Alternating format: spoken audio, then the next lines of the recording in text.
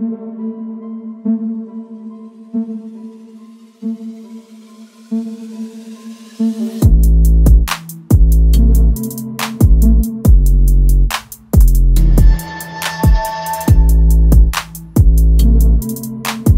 guys, I am Mona and I'm a full time beauty, makeup, and lifestyle YouTuber and a professional makeup artist.